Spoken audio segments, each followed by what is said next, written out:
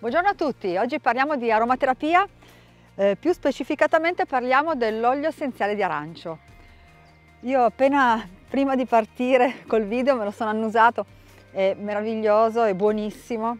Eh, come viene ricavato? L'olio essenziale di arancio viene ricavato proprio dalla spremitura a freddo della scorza dell'arancio.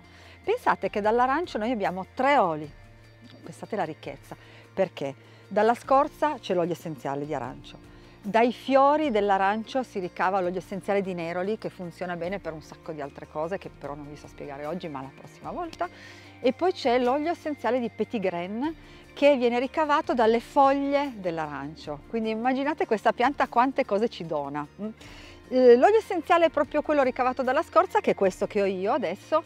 È un olio che serve tantissimo per andare a risvegliare la gioia dentro di noi, quindi viene chiamato l'olio della gioia proprio perché l'arancio dà allegria, cioè proprio a livello olfattivo va a stimolare l'allegria all'interno del nostro essere.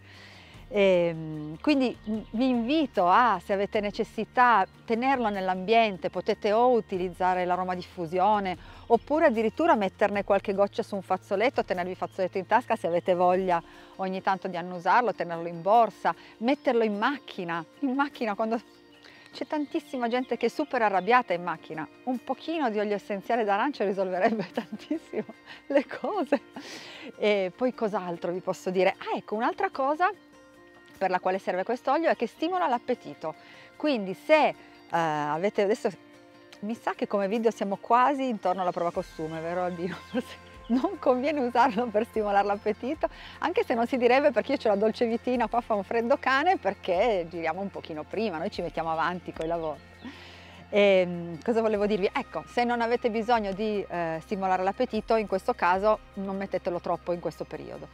Ehm, vi ricordo che per quanto riguarda l'aromaterapia potete andare a guardare, o così come per gli altri eh, argomenti, potete andare nel link in descrizione sotto, c'è il mio canale YouTube, i video lì sono tutti messi bene in ordine dal Bino rispetto alle playlist e quindi potete andare a cercare quello che più vi serve. Intanto io vi ringrazio come sempre di avermi ascoltato, vi auguro una buonissima giornata e come sempre, ma sempre, sempre, grazie alla vita.